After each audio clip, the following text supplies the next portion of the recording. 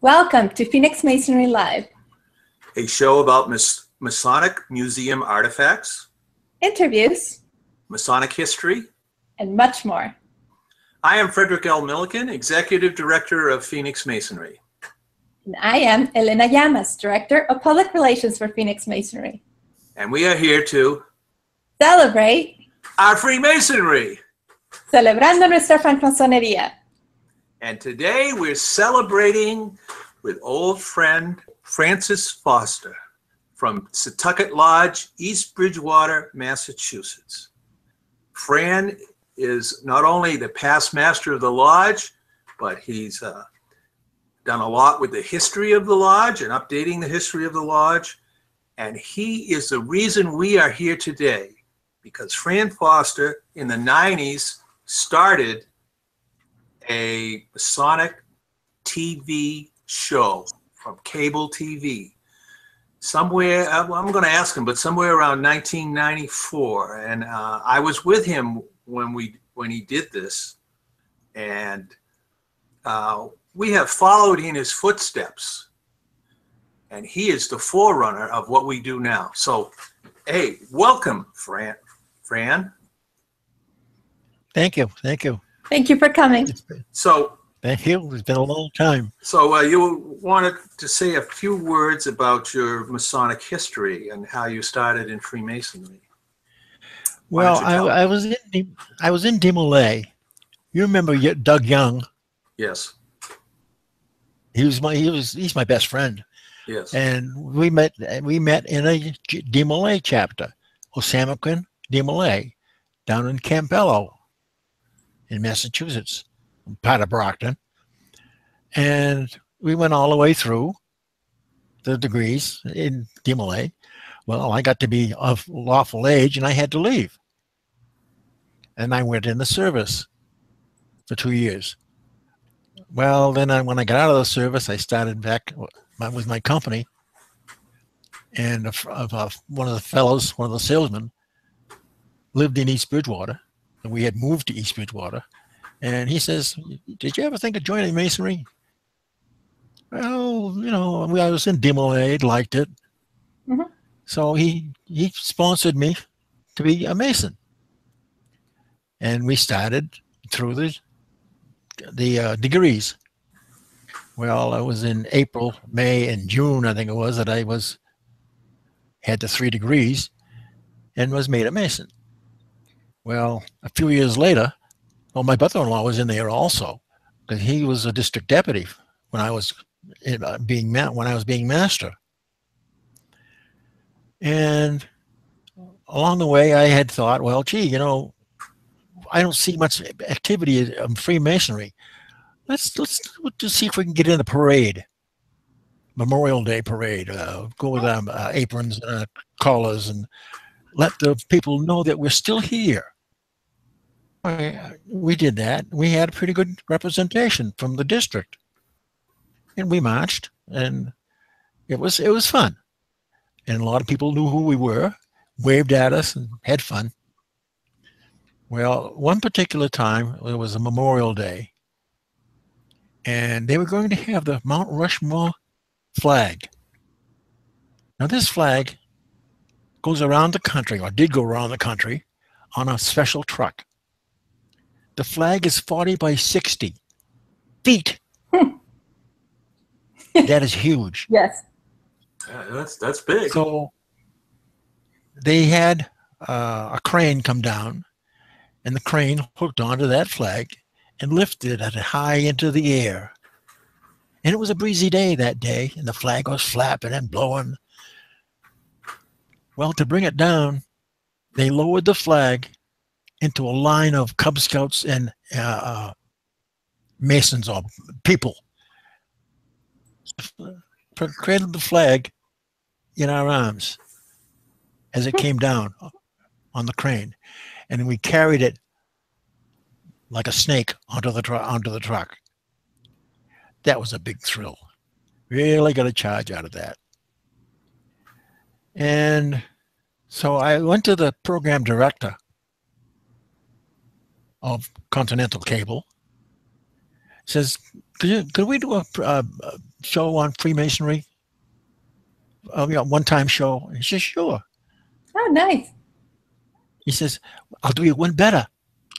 You give me a show a month and I'll give you a permanent time slot. Huh. Oh, great. so we started in. And Fred Milliken and Dick Kusick were in the first program. I look a little And we different did- now. So do- We're so going to I. show it. We're going to be airing it right after this interview. So I want to get a couple of dates in here if I can, Fran. First of all, you, you talked about Sure. you, when you were made a Mason. Do you know what year that was? Was that In around 1964. 64? Hmm? Wow. 64. Wow. You've been a Mason for how many years? A lot of years, right? So 50, 53 years. Oh, Wow. Goodness. Wow. Yeah. And now, when you started this this uh, t- TV show on cable, you know approximately when it was? Was it around 1994, somewhere around there? Uh, 94, 95. Yeah. Uh, thereabouts. As soon as I got in the masonry, I had I was sat in a seat Hmm. for a chair, Yeah, an officer. yeah. I went in as senior steward. Uh, I, I had sat in in the, uh, as the inside sentinel for a while. Well, our viewers are going to be able to to uh, see some of this programming that you filmed uh, right after this interview, but also over time. Because Fran, thank you very much on behalf of all of Phoenix Masonry for donating such a wonderful uh, video collection uh, to us, and we're going to be sharing it with you. And so, once you were given this spot, once you knew you were going to do this, what did you set out to do? Did you set out to explain masonry to the general public? Uh, what was was there an overall theme to the program? Uh, masonry had been in East Bridgewater since 1881. It was a daughter lodge of another lodge that was chartered in the East Parish of Bridgewater in 1797. Hmm. And the charter for that chapter or the, the lodge was signed by Paul Revere. Oh, wow! We're big But- Paul Revere but- fans here, aren't we, uh, Fred? And, that, and that's a lodge Fran and I have both been to many times. wow! Wow! Yeah. Wonderful.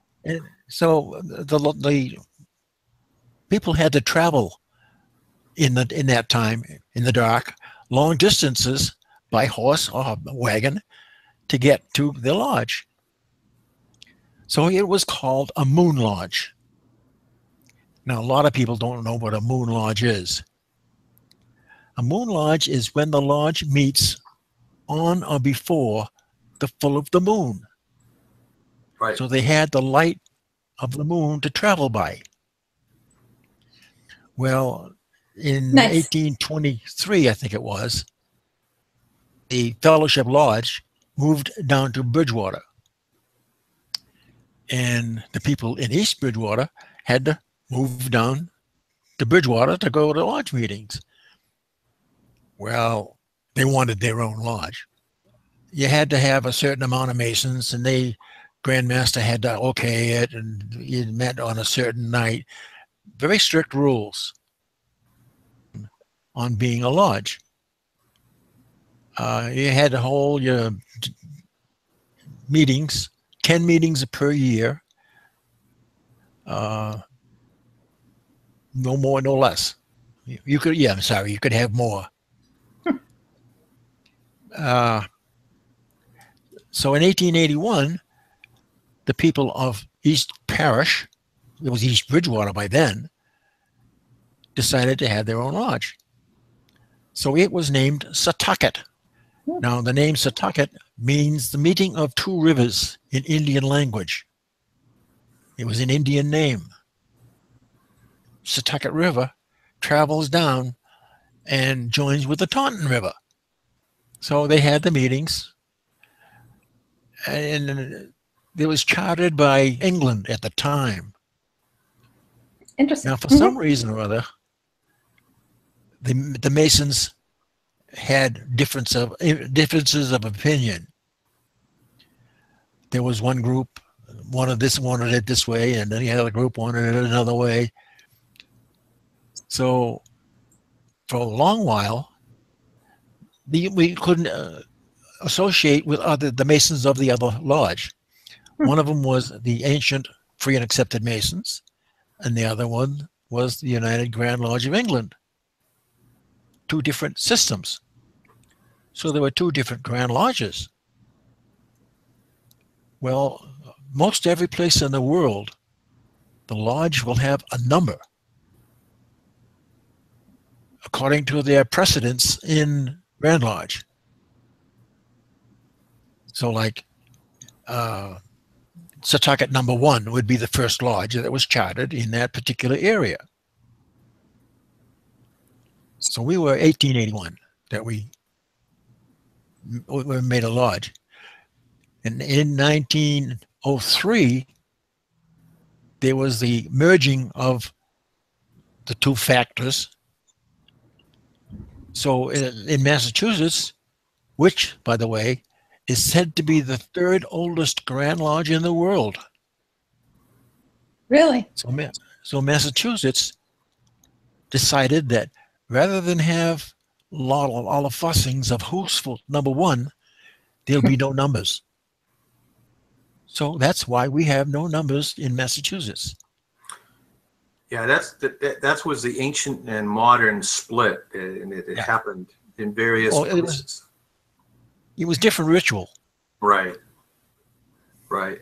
So, uh, Fran, you had uh, something to do with uh, updating the history of your lodge, just Tucket Lodge. Tell us a, a, a little bit about that. When it, when you started updating the history and how what did what did it involve? Uh, did it involve uh, putting the minutes in the computer, or did you do more than that? Both. uh, there was a, a history that had been written in 1956, and it was quite interesting. A lot of people there and told of how things went. But this was in 1990s now, and it had never been updated. So what I did is I got the secretary's minutes and went through each and every page Wow. for certain things that I could put in there that would help to tell what was going on. Uh, I found out that there's was one of our members was lost with the Titanic Oh, by the uh, interest by the notification in the lodge minutes. They announced his name, that he was lost. So you you pu- put this all together, and then did you put it in a computer? I put it into my it? computer so I could print it out. And I took Right. some pictures. They never had pictures back then. So one of the pictures that I had was the house of Hector Orr. He was the first master of Fellowship Lodge nice. in 1897. That house is long gone now. Uh, Fran, you, your, your lodge is not active today. Uh, you merged. because we got to a point where we could not attract members. Hmm. We did not have enough members to fill a line of offices. So we merged with our fellow, with our parent lodge, the Fellowship Lodge. And you did a lot of topics, Fran. Uh, you, you did the Yes, dog rite, uh, uh, you did uh, Scottish Rite. You, you kind of explained things to people so that the average person could know more about Freemasonry. Uh, that, Yeah, that the was bit that I watched, I really liked that. It was really explanatory. Uh, go, go on, Fran. So, I mean, That was my idea. Right. Is there any particular show other than this first one that we're showing now? Uh, another show that strikes your memory that you'd like to mention? The Shriners. The Shriner Oh, Yeah. Yeah. Yeah. That. A little, a little story that's not in there. My ahead. wife and I were campers. Yes. We had an RV. We stopped in an RV store and we went to the dealer and he started explaining about the rigs, the, the motor, the trailers that he had. And I told him that we go out camping with the Masons, National Camping Travelers. Oh, oh, okay. Is that anything to do with the Shriners? I says, well, you have to be a Mason to be a Shriner. So then he proceeded to tell me, eyes. His son was playing with a pro, uh, pressure can of paint, Oh. and he put it in a fire, Mm. and the can exploded. Mm. Here he is sitting there trying to tell us that his son was badly injured when the thing blew up. But the Shriners took him down in Texas and did everything for him and kept the the salesman and his wife in around in the area Wow. and it didn't cost him a penny Imagine that. Shriners paid for every bit of it Well, Shrine- it just goes to show how how how deep the the touching of uh, lives goes. Uh, yes, Fred. No, I was just saying the Shriner Burns. They, I've, I've toured them, and they they do such wonderful work. Uh, my brother-in-law's daughter she worked for the Shriners out in Springfield and you know what a cleft palate is Right. Yes. she invented a device that goes into the mouth and they build it rebuild it rebuild it as the child grows up Hmm. Interesting. and it straightens that cleft palate out Wonderful. it's just fantastic work Well, we've enjoyed having you on, Fran, and uh, Okay. we're going to be showing that first show. And uh, people won't recognize me. I might not recognize you either, but uh, no Yeah, it's a name tag. I'll put. I'll edit in an arrow saying this is Fred. and, and we we all, Elena, we all took lessons in how to wow. operate the camera. You know, Mhm. because I was a guest on a few of the shows, but then I decided I wanted to do some camera work. So I did a little bit of, I did, did a little bit of camera work when uh, Fran didn't need me on the show and he was interviewing somebody else. But but Fran, No. you got, you got two pa- uh, past grandmasters to come in to East Bridgewater on a local cable show. How did you get two grandmasters to come in? call them You called them. ask them You asked them. well, today, Fran, we can get them on this show, you know, via uh, wherever they are, but they had to physically walk into the studio. Well, Well, thank you so much. And this is, uh, well, it's not all we have for you this time. We, uh, stay with us because the show starts now.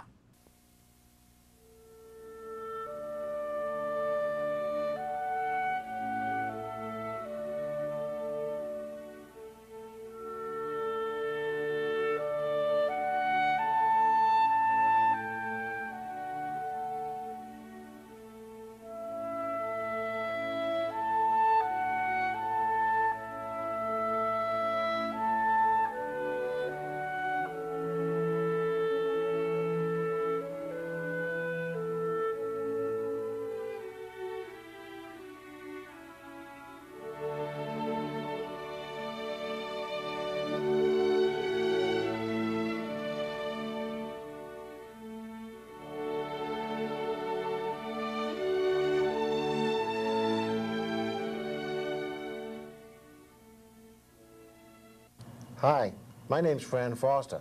I'm the master of Satucket Lodge here in East Bridgewater. With me tonight are Dick Cusick, master of Paul Revere, and Fred Milliken, master of Plymouth Lodge. We're here to talk to you tonight about what it means to be a Mason. We have a short tape to show, and we hope to dispel some of the rumors and let you know what Masonry is all about. Fran, just a question. Why did you end up picking this tape, what it means to be a Mason? Because it, it tells what it is, who we are, and what we do. The best that I've ever seen any uh, medium show. And you know, Masons uh, traditionally have not spoken about what they do and who they are to the general community. Yes, we've been known as the quiet society, uh, kind of hiding in the bushes, but it's time that we let people know who we are and what we do. You know, the funny part about you saying that is way back in the early 1800s, going into the 1900s, everybody knew who the Masons were. They, Oh. they, they were the, the businessmen, they were the, you know, they were, they were the, mostly the elite of the cities that you lived in. Oh, And today, Certainly. Uh, today, the Mason is the man down the street, the garbage collector, the gardener, the banker, the insurance agent. It can be anybody. Uh, we take men of all, kind all countries, sex, and opinion uh, to uh, exemplify what Mason, Masons are and what we do. And you know, I think this film will destroy some of the myths that are out there about Masonry. I hope so. that would be great. You know, talking about the myths and what the film is going to do, what do you think? Why don't we just roll the film? Sure. Let's watch Let's see what it looks like. Sounds good.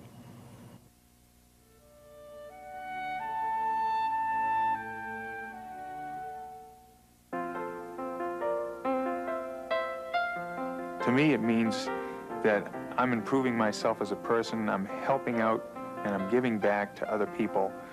And really, you can't put any dollar sign on that. It's a nice organization to belong to. I have now I have friends from Falmouth, uh, like the Berkshires. There's a great satisfaction in knowing you've done well, even more so than someone telling you so. There is great satisfaction that comes from being part of a group that shares traditional values, that believes in the brotherhood of man, and in doing good works just for the satisfaction of doing them. That's what it means to be a Mason.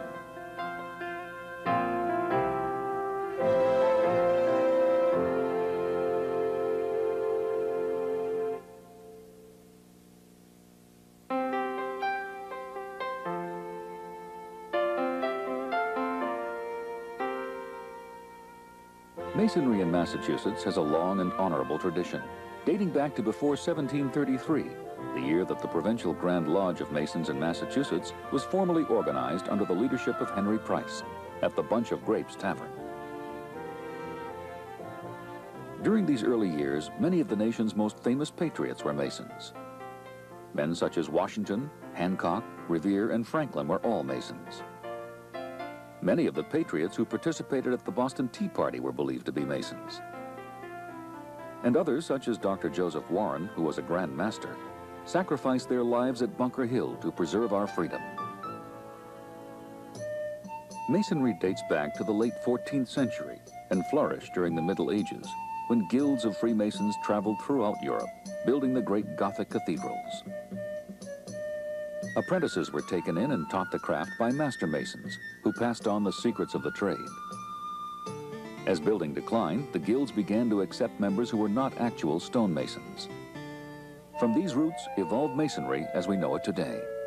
Masons identified their work by symbols that they carved onto the stones.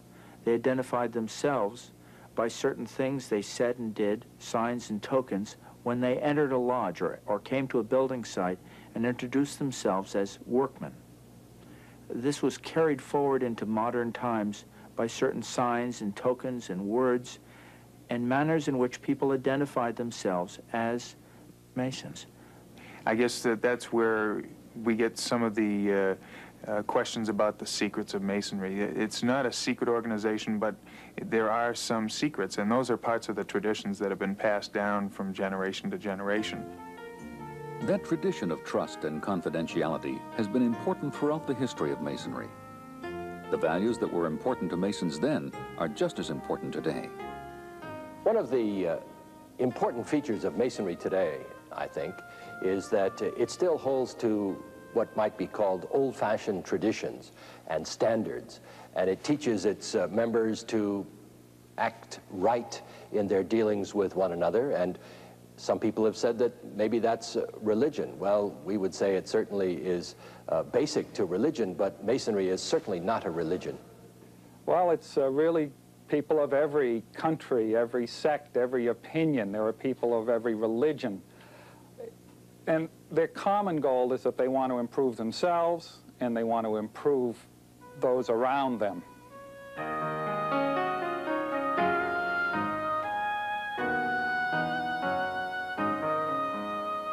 I got involved through a good friend who had been like a second father to me. He had been active in Masons himself for a number of years. And, you know, I respected him. He was very active in the community. When I got out of college, he suggested that, you know, it might be a good time to consider uh, doing some things myself within the community. I asked my friend what it was like to be a Mason, and then I went and sat down with a number of members of the lodge, and they told me what was involved in becoming a Mason. And it sounded very interesting, and that's when I asked if I could also become a Mason. When I first applied to, to the lodge, it was primarily through a, a man that had worked for us. I had a, a past master that was working for me. He was the bookkeeper, and I, I was just interested in it and didn't really know that much about it when I applied. So I, I applied and went through and found out a lot.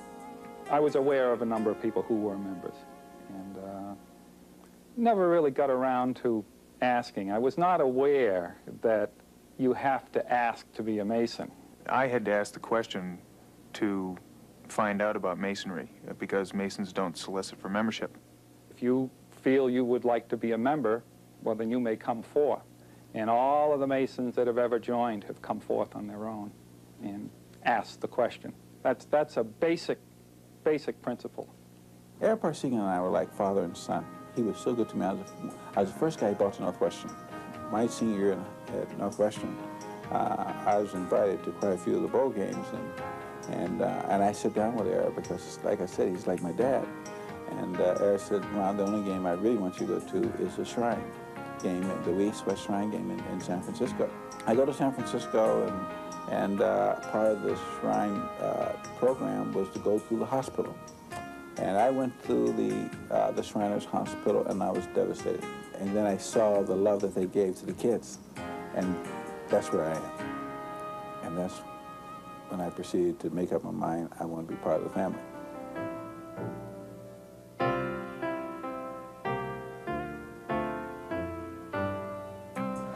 Most important thing is the people. It's the people that I have met. Just a great bunch of guys. You meet hundreds of guys that you probably never would have met before. Who becomes a Mason? Accountants, businessmen, teachers, contractors, anybody and everybody. They come from all walks of life and all levels of income. And in the Masons, they're all equal. Teddy Roosevelt uh, visited his own lodge while he was president. He attended the meeting, enjoyed it thoroughly, and at the conclusion of the meeting, he rose and asked permission of the worshipful master to speak. And at the conclusion, uh, he turned and thanked the worshipful master, who was his gardener on his estate in Long Island. It doesn't make any difference whether a man's a bricklayer or a physician. They meet on an equal ground and on equal footing within that lodge room. The thing about the, the ritual work, the actual work that's done in the lodge, is that it's the same work that's been done for hundreds and hundreds of years. Every Mason, no matter where you go, has had the same traditions and gone through the same degree work.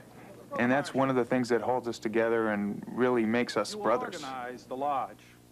There are just a lot of things that you don't know take place behind the scenes, and uh, the only way you can find out really is by becoming active in it.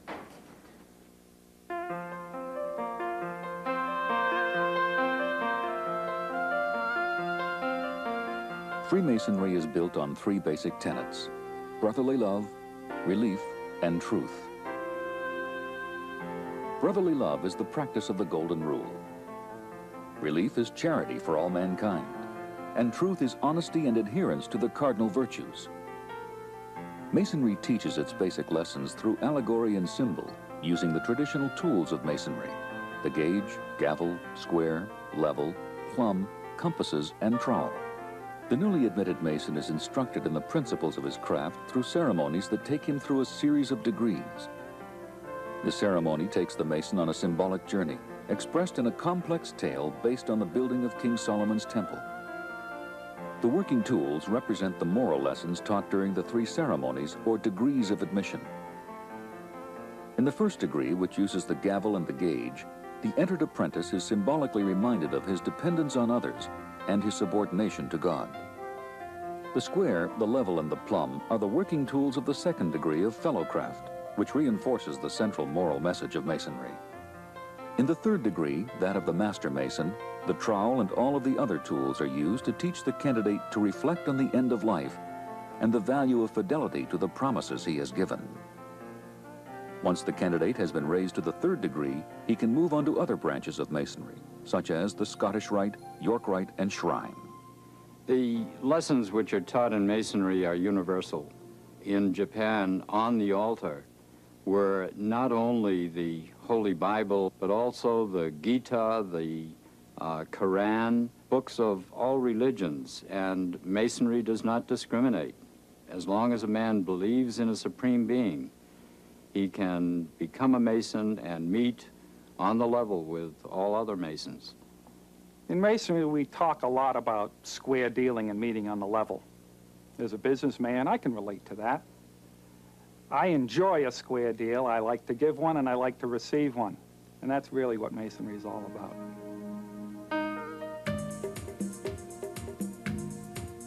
There are over 300 lodges in Massachusetts with some 60,000 members, from Springfield to Boston, from Andover to Hyannis. The local lodges, also called Blue Lodges, each have their own character. The Grand Lodge, located in Boston, is the oldest Masonic organization in the Western Hemisphere and has been functioning continuously for over 250 years.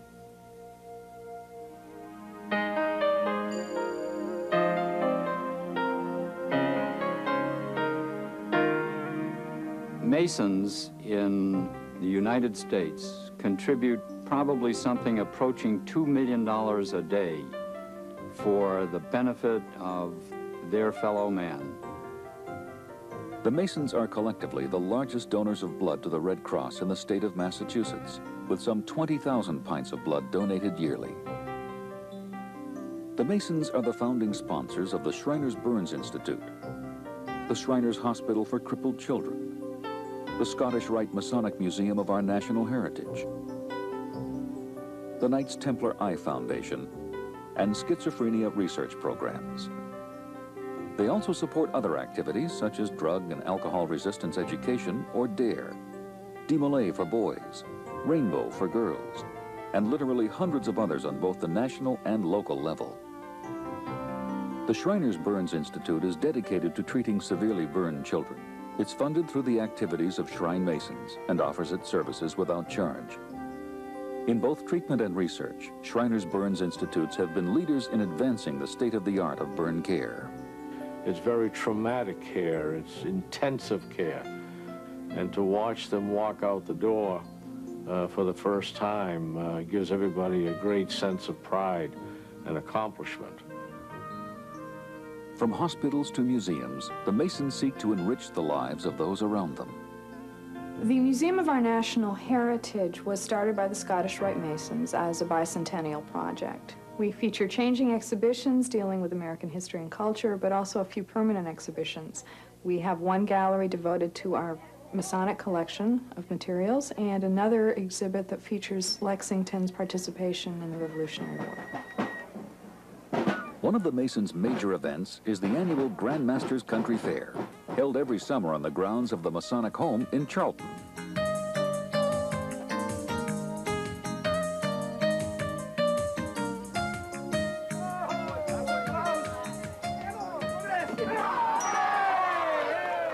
Proceeds from the fair go to support the Masonic Retirement Home, open to Masons and their wives. As master of our lodge, I uh, received a call one day from a, an elderly member who asked about how to gain admission to the Masonic home. He and his wife wanted to move in. Uh, in checking, I found the procedure. We went through the interviews, and they, in due time, moved in. And I've subsequently visited them many, many times. And honestly, I know they're very happy that they're there. But when I go to visit them, I get, a, I get an even better feeling. This is the fourth annual Jamaica Pond Fishing Festival. group of concerned people, masons, city and state agencies got together and uh, decided to have a festival for families, youth uh, on the pond. A lot of these kids have never even seen a fish before, let alone tasted one, and hopefully they're going to have an opportunity to do that today. Get that off. You bring it down to the most basic level, why do we do this type of thing? And uh, for me personally, it's, it's a very selfish reason. It makes us feel good. Everyone gets the same pay, and it, all the pay comes right here. Those are the things that excite me more than anything else. When people give from their hearts. I mean, they give deep. The truths you learn as a Mason are personal and private, but the values echo the past and are something you carry with you for the rest of your life. Bye.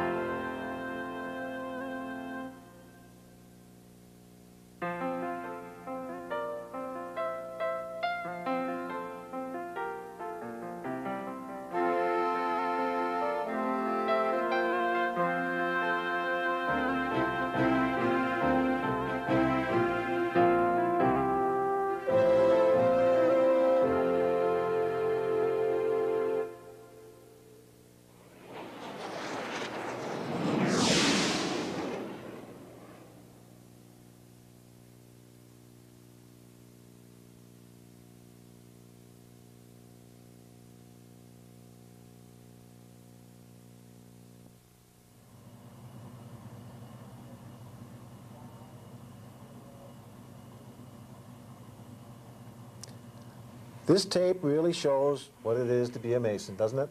You know, Fran, I'm really glad you picked that tape. Uh, as Freddie said earlier, it really takes out the myths and the different things that people think about masonry that really aren't there. Uh, you know, I, I love it when they talk about the secrets of a mason. There are no secrets. You can go to any public library in the world and learn anything you want to know about masonry. You know, the only secrets that we have are our methods of recognition. One of the things that really impressed me when I first started in masonry and when I first thought about being a mason was, wow, how far back we go. All the way to the you know 1700s and, and probably a lot further than that. Well, it was around a lot, lot time, lot, long time before that. It goes back, uh, it's documented back to the times of the Crusades uh, in the 1300s. You know, one of the nicest things about it too, as as Masons, as we know, when we're in lodge, everything is symbolic of back then. You Oh, know, yes. and and that to me is what makes our degree work so, to me, impressive. Anyways, it, Oh, it- you know, when some young person's coming in or, or a new person's coming in, they get to see and listen and hear about the language back then, and, and we use the Old English, as we all know, and, and it's so impressive to somebody for the first time ever walking through the portals of our doors. You know, I, I was given a lecture at one of the one of the degrees, and I happened to find an 1894 uh, book on masonry, and that lecture was the same as it was then, a hundred years ago, word for word, in, in, in the same lecture. You know, the nice thing about it, too, talking about even just back to 1894, everything that we do as Masons, if a man is a Mason, he has done it. There is nothing different for each person. Oh, no, so it's, it's- the same from one person to another. You know, and we talk about religion and, and color and whatever else it might be. People think that there's a stigma that you have to be a certain type person to become a Mason. As the film showed, you don't. You know, Freddie, we were talking earlier before the film, uh, and, I, and I'm glad in the film it brought it up, the story about uh, Teddy Roosevelt. You know, and if they didn't catch it, why don't you just repeat that story one more time about the gardener and Teddy Roosevelt and the gardener. Teddy Roosevelt was at his lodge and he asked to leave. He asked the worshipful master for permission to leave. And he was asking his own gardener, You who was the worshipful master. Now, he was the president of our country at the time, wasn't he? he? was the president of our country at the time. You know, that, that really shows us, Fran, that anybody, I don't care who it is, can be a Mason. And it, and it shows that we're all equal. We're all on the same plane. And there are no heirs and there's, there's no uh, caste system there. We're just all equal in the lodge. Like I had said earlier, uh, it's people of every sect, country, and opinion who are Masons, and we all come into the door the same way. There are two things that are not allowed to be discussed in Masonry, in a Masonic lodge, as you know. One of them is politics, and the other is religion, because those are the two divisive things that would stir up arguments, and they're just not allowed in the Masonic Lodge. And I think it's important to emphasize the fact that we're not a religion. Oh, certainly. We teach moral lessons. We say nothing about salvation. And That we- is so true. That really and we is. have no sacraments. No. Although we do have a Bible open all the time on, a, on a, in our meetings, uh, it is symbolic, and we teach moral lessons with the uh, implements of masonry. You know, talking about the film, and everybody has just seen it. Fran, what was what's one of the biggest reasons that you really like being a Mason? What do you get most out of being who you are in the Masonic community? The friendship, the fraternity, the hundreds and hundreds of people that I've met, made friends with, that I never would have known otherwise. I can go to any place in the country, and as soon as I make myself known as a Mason, I'm among friends. Yeah, it's true. Freddie? That's important. But for me, it's the moral lessons that we teach. I've learned a lot how to apply to my daily life those moral lessons. And I think I'm a better person, or have become a better person, because I, I joined Masonry and listened. Oh, certainly. If, if you heed to the lessons that we teach, you can't help but be a better person. You know, and the funny part about it, you know what, the, the most, the nicest thing I get out of Masonry is the fun I've had with the kids. Yeah, as you both know, I'm so involved with the young DeMolay and mm-hmm. Rainbow kids in our, in our Masonic community. The, the way I've got to watch them grow up and become something of themselves. We, of course, every town or city has a boys' club or a girls' club. But this is something that we take personal, and we, we take our pride in what we do with the DeMolay and Rainbow. And to me, that's what Masonry is all about, what we're doing for the kids in our cities. What we're doing for others. Yeah. It's And, nice. and I, I have met people that I never would have met any other way. Oh, certainly. Dick lives on the same street. Yeah. we never would have known each other had it not been we joined Masonry, I bet you. I mean, he's on one end of the street, I'm on the other. I'm going to become a Knights of Columbus next year. but, but it, it is so great. Uh, the friendships that we've made, uh, the things that we do. As you saw in the tape, we are very involved in the Shriners Burn Center. Uh, You know, before we go any further, talking about the things we do, I understand that you have a display going on somewhere in town. Oh, yes, certainly. Uh, during the month of June, in the East Bridgewater Public Library, we will have a display of Masonic memorabilia and artifacts going back hundreds of years for people to see, and we'll be running this tape for, for Masonic awareness, to let people know who we are and what we do. Now, is everything that we have in Masonry open to the public at the library? Yes, there's a lot of books there, and there'll be books on display, uh, books that you can draw out to uh, read and learn about Masonry. Supposing, uh, Fran, somebody had a question, who, who could they turn to? Oh, they could call me. All right. I live here in town, uh, 378 3240. But You know- I can answer any questions that anybody has. Fran, I'm really glad you picked this tape tonight, uh, what it means to be a Mason. I hope the people that watched it uh, got something out of it. I hope they've learned a little something more about Masonry than what they knew beforehand. And I've seen the tape a number of times, and I, I was just thrilled to see it again. You know, it's so I- nice. I learn a little more about every time I see I, I love the way the tape starts off panning across the city over the Charles River. You know, to me, that is what Boston is. Uh, it's fantastic. Uh, recently, I got on the electronic bulletin board, and the Grand Master is going to uh, reenact the laying of the cornerstone in the State House, July 4th, 200 years ago, uh, laid by Paul Revere. allegiance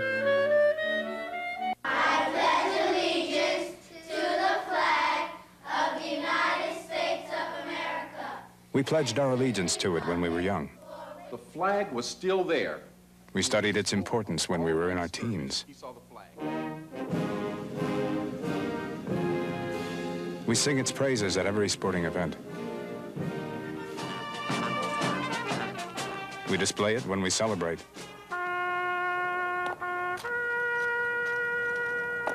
Present. Huh. Lower it when we mourn. Our flag is presented on behalf of a grateful nation. and honor our heroes with it when they've fallen. The flag of the United States of America. It stands for what we are and what we believe in. How we treat it says a lot about us. Hi, I'm Mark Paul Gosselaar. As a teenager, I've seen what drugs do to other kids. Not everyone takes it seriously, and that's why it's important for kids to participate in DARE, the Drug Abuse Resistance Education Program that's taught in schools across the country. DARE teaches kids how to say no to drugs, resist peer pressure, and build self-esteem. To find out how to start a DARE program in your school, call 1-800-TALK-KFC-DARE. Drugs are no laughing matter.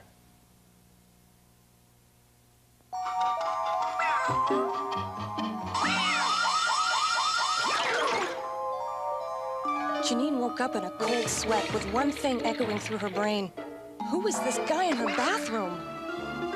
Meanwhile, Barry was thinking, whose bathroom am I in? Janine remembered going to the party the night before and getting smashed out of her mind. Barry remembered getting drunk and acting really stupid. Eventually, The whole evening came back. oh, I must be really stupid. I must be really dumb. What did I do? How did I get myself into this? Well, what did I do? How did I get myself into this? What about... What about... What about AIDS? Then they both realized, much to their relief, that unlike the rest of us, They were just cartoons. get high, Get stupid. get AIDS.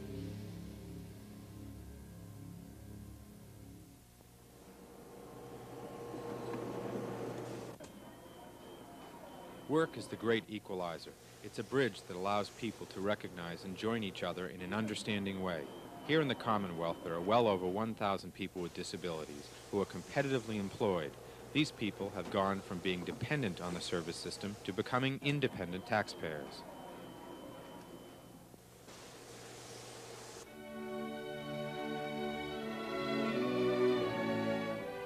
Hi, this is Fran Foster again. Thank you for watching us tonight, and this will be the first of many programs that we hope to produce in the coming months uh, to tell you all about Masonry, what it is, and what we do. Thanks again.